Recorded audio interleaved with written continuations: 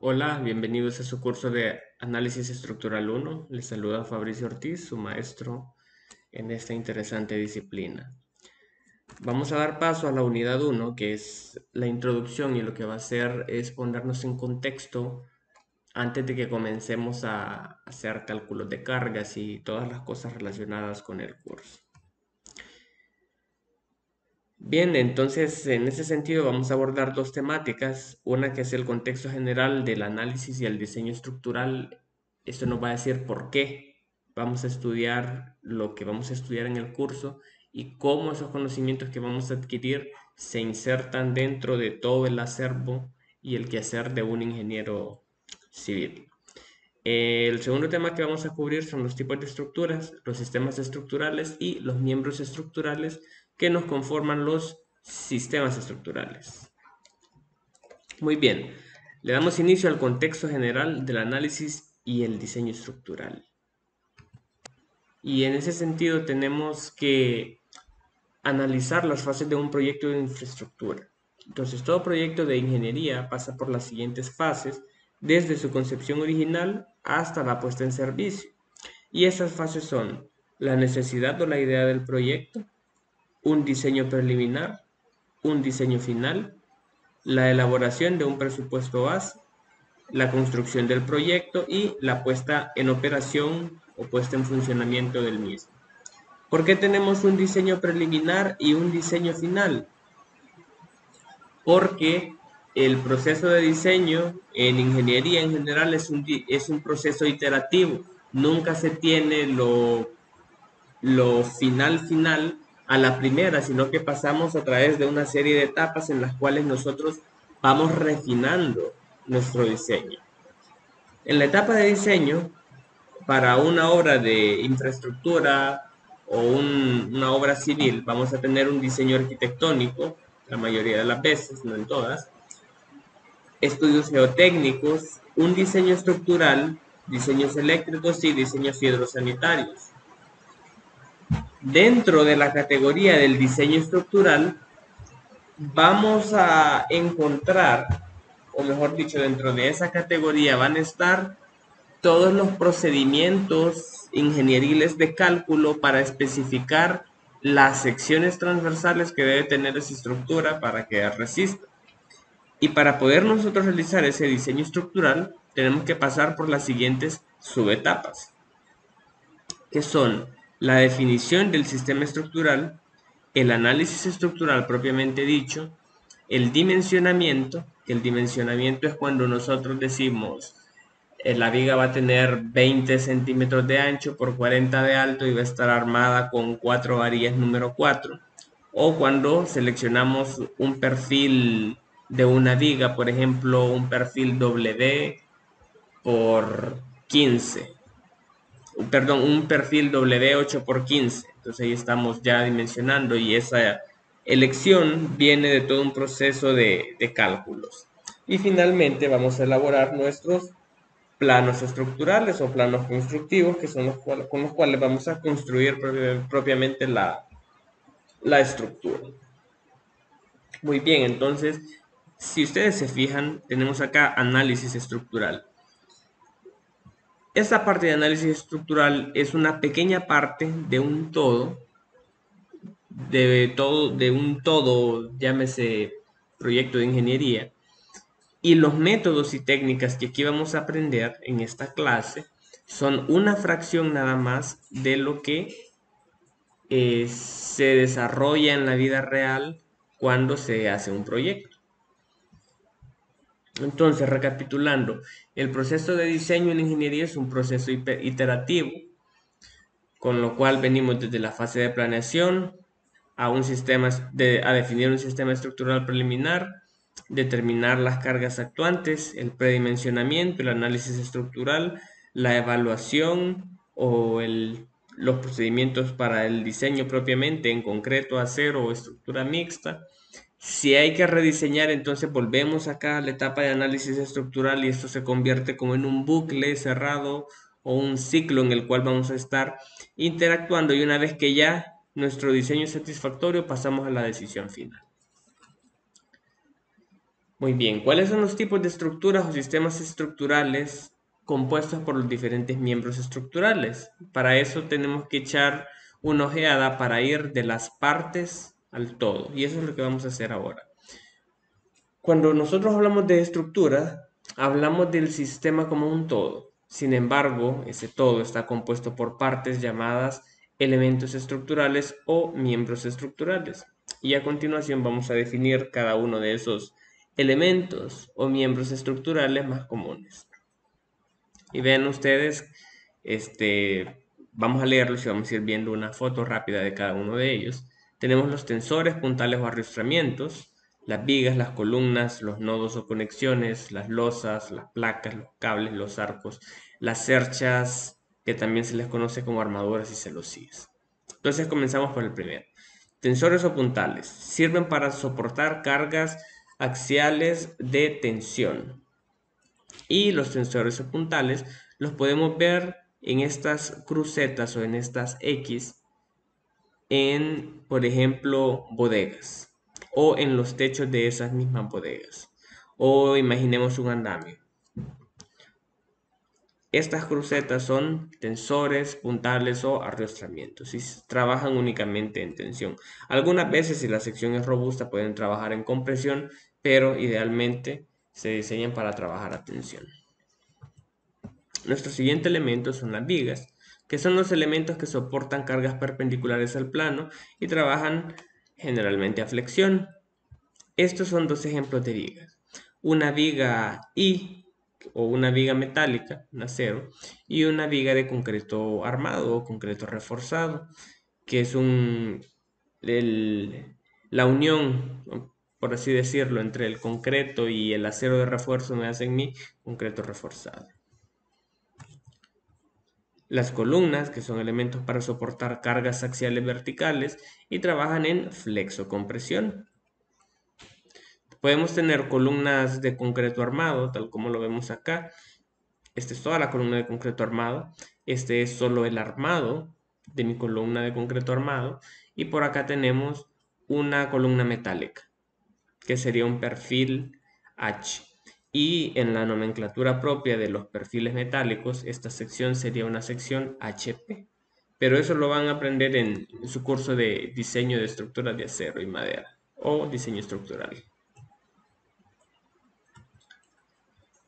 Nuestros siguientes elementos o miembros, por así decirlo, son los nodos o conexiones y el nodo o conexión, su misión es conectar los diferentes elementos estructurales. Vemos acá este, dos tipos de conexión en sistemas de concreto armado. Este es un nodo rígido y es un nodo rígido porque la conexión entre la viga y la columna, esta que tenemos acá, no permite la rotación de esta viga. ¿Por qué? Porque al momento en que colaron el concreto, abro paréntesis, colar concreto significa vaciar el concreto dentro de una forma. Lo hicieron todo al mismo tiempo y todo este concreto de por acá se endureció al mismo tiempo formando una masa sólida. Entonces eso es una conexión rígida o un nodo rígido o un empotramiento perfecto. Y por acá tenemos una conexión tipo rodillo, de esas que estudiaron en estática.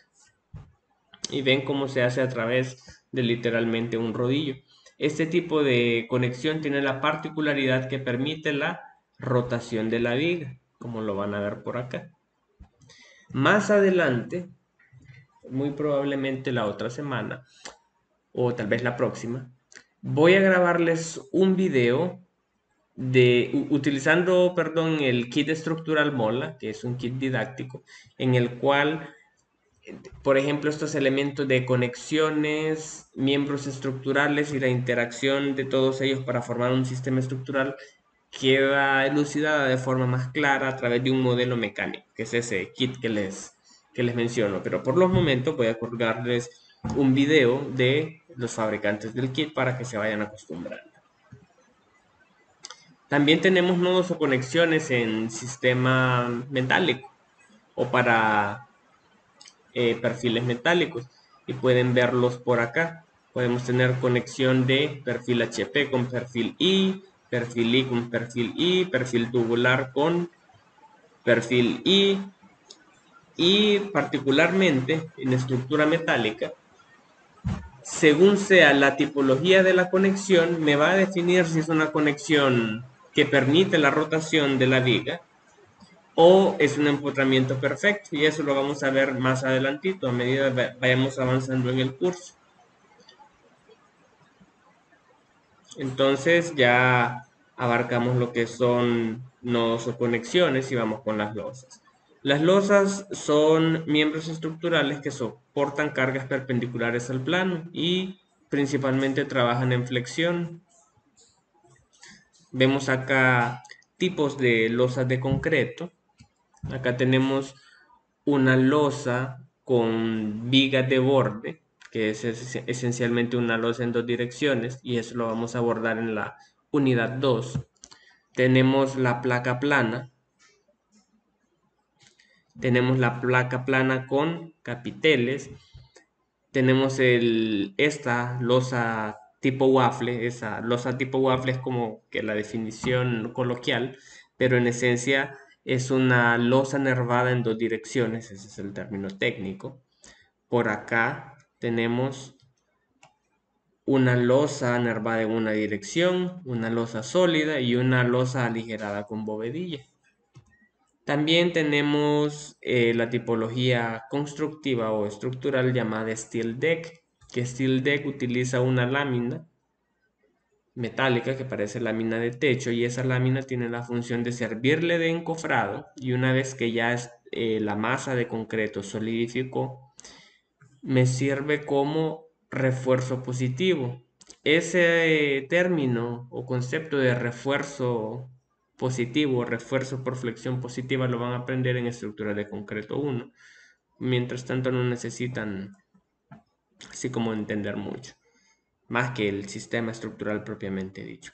Y podemos tener este otro acá, que este se llama steel joist. Y se llama steel joist porque la carga principal del entrepiso o de la losa es soportada por estos elementos metálicos, que son armaduras. Y a esas armaduras que son planas y se utilizan esencialmente para entrepisos se le llaman joist.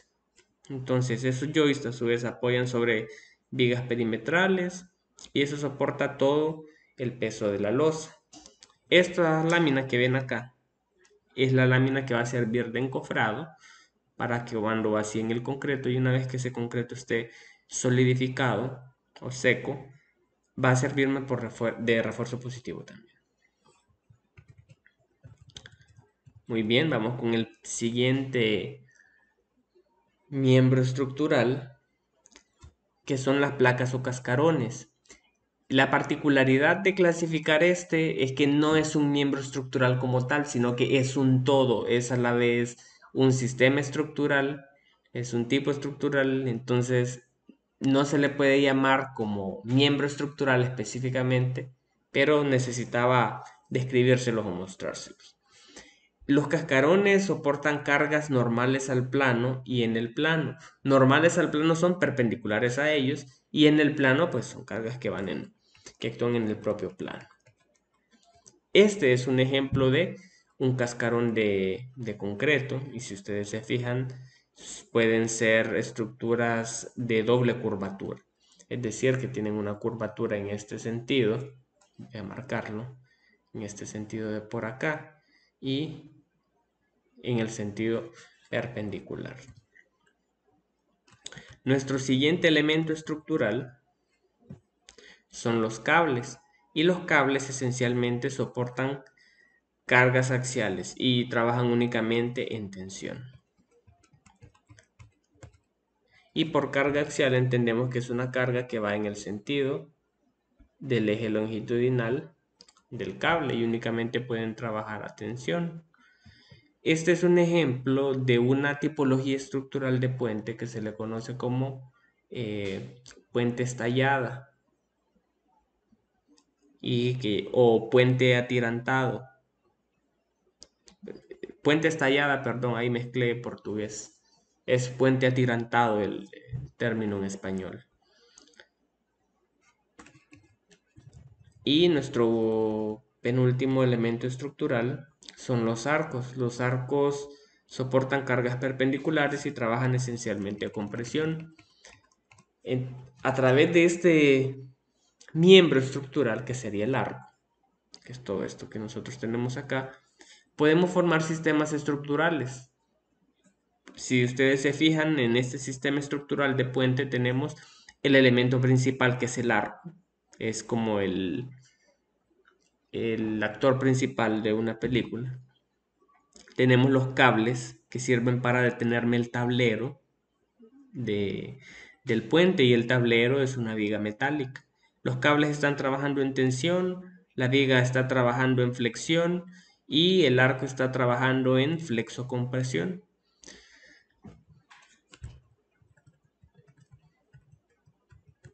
Y finalmente tenemos las armaduras, cerchas o celosías, como quieran llamarles. Y son estructuras reticulares de barras rectas interconectadas en los nodos formando triángulos planos.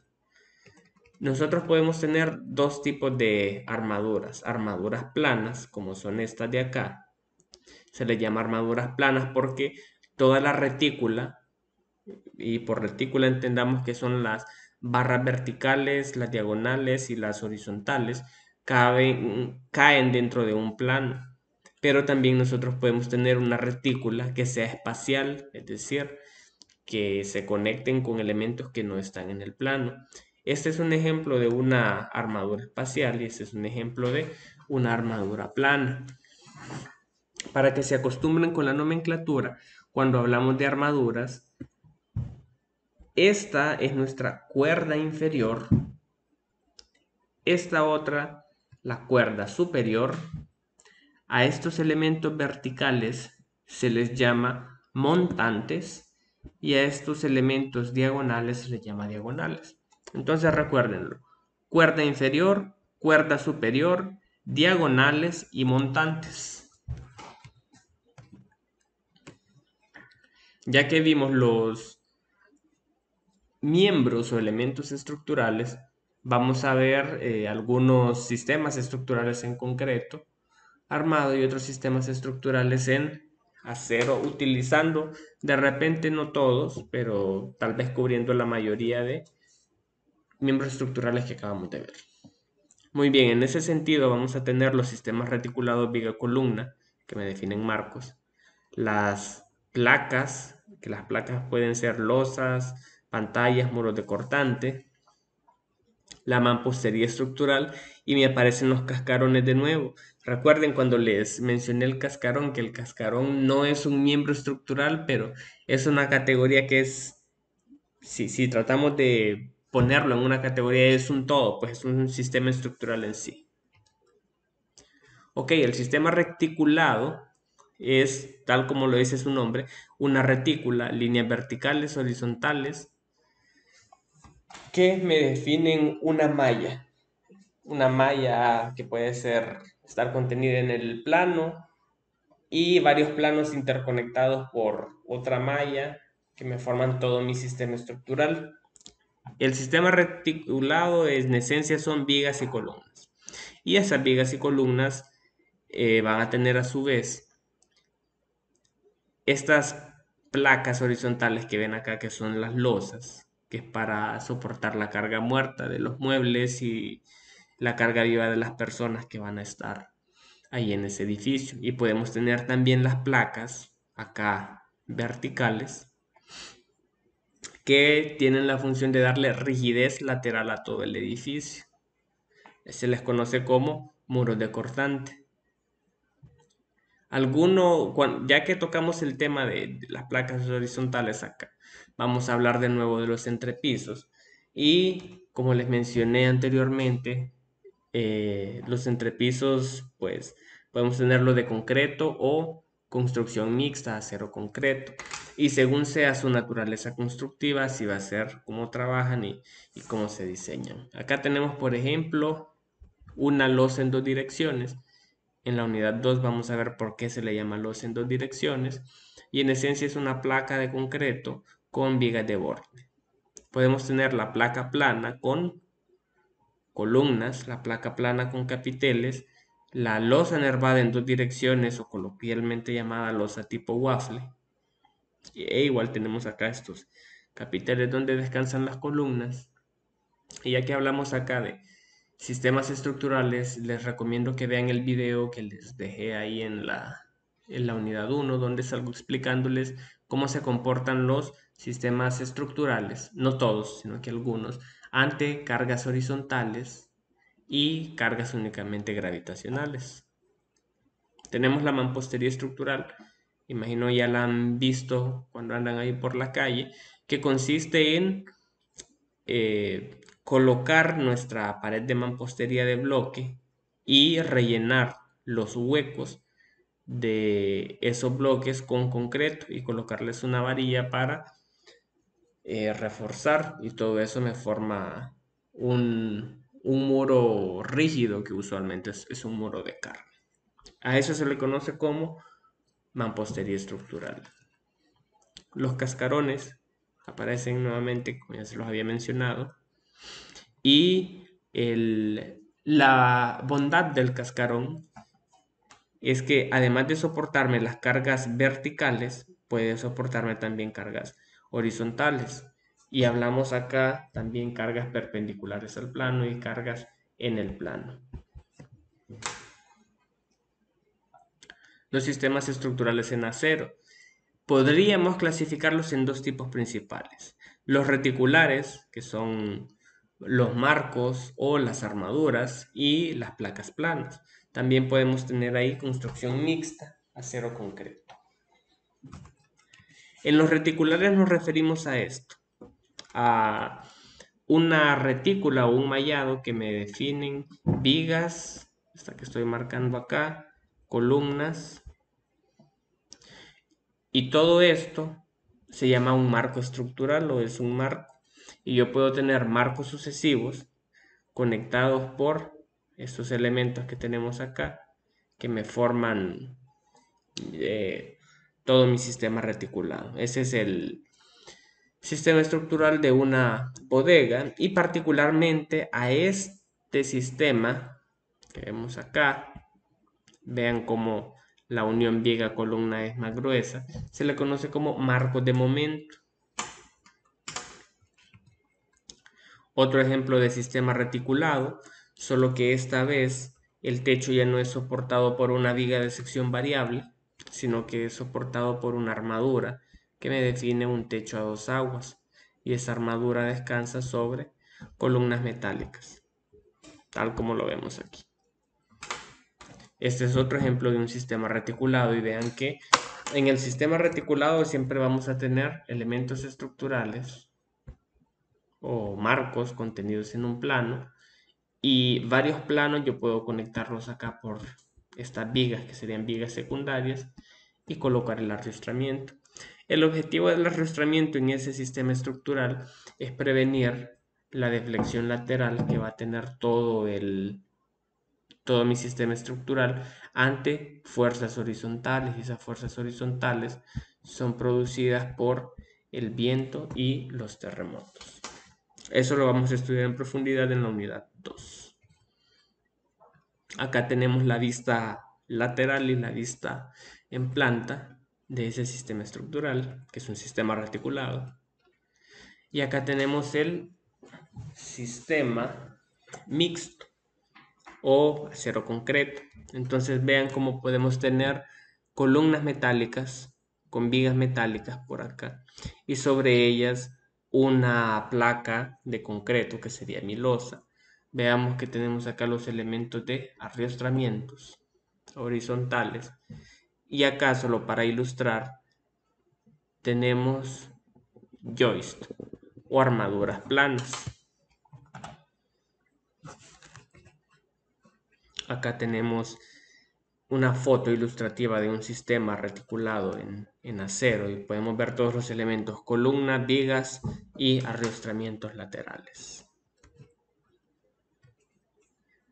Este es el otro sistema estructural que les mencionaba, que es el sistema estructural en placas de acero.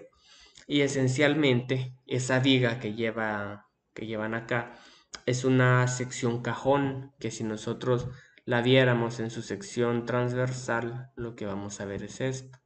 Y se le llama sistema estructural en placas porque esto es una placa de acero, esto es otra placa de acero y esto es otra placa de acero, donde se ha soldado aquí, acá, en todo el sentido longitudinal y además también contiene estas otras placas que cumplen la función de rigidizar toda la sección de mi viga cajón.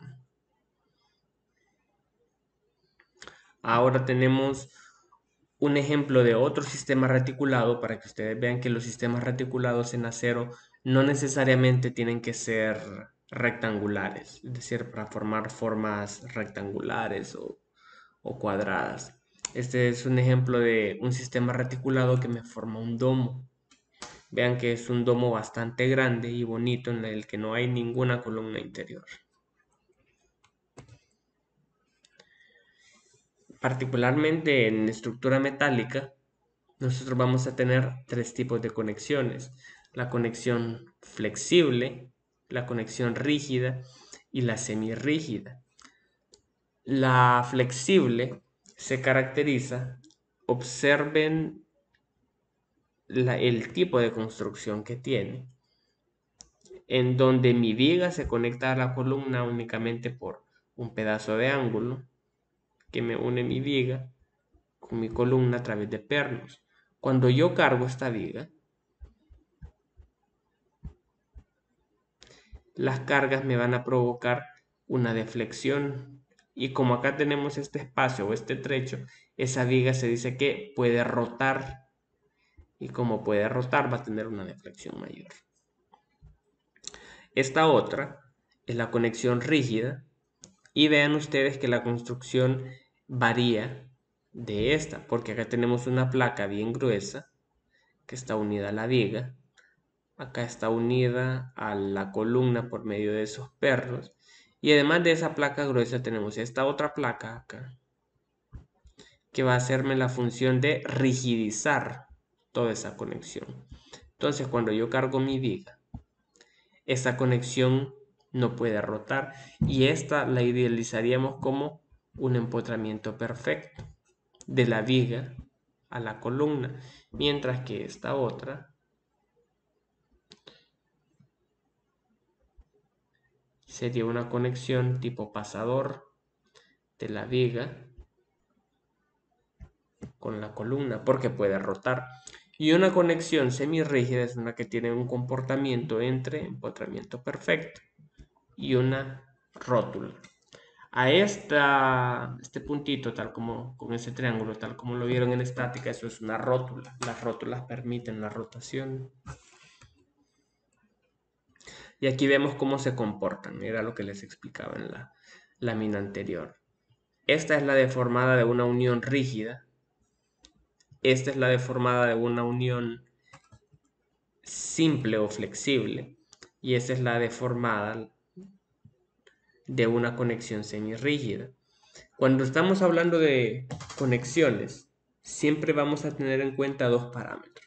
Y uno es el momento aplicado y el otro es la rotación en radianes de, esa conexión y eso queda evidenciado en el siguiente gráfico que me muestra el comportamiento de los tres tipos de conexiones de la flexible.